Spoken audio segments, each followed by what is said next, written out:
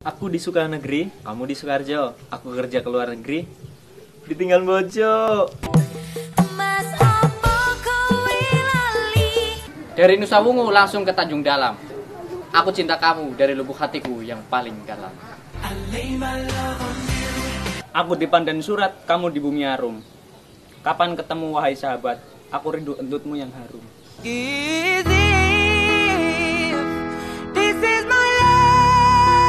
Pergi ke Madaraya, cuma mau beli mie. Mohon katakan ya saat ku berkata, Will you marry me?